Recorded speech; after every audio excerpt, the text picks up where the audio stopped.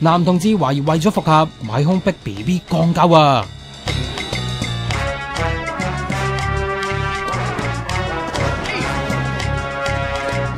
就同我哋记者斗长戏嘅就系无业同志被告刘振耀啦。佢叫做 B B 嘅十八岁男学生喊住咁作工话：前年两个人喺 Facebook 识咗，佢知道刘振耀一直单恋佢啊。但去到旧年二月至拍拖，佢拍咗两个月，发现唔系真爱就提出分手。刘振尧就以死要挟，要多两日时间。两日之内，刘振尧帮佢口交，又一齐行街。啊，点知两日过咗，又要多两个月，唔系就踢爆佢性取向。最后两个月都过埋，刘振尧就暗示会买空斩佢，威胁要最后一次光监，佢唯有应承。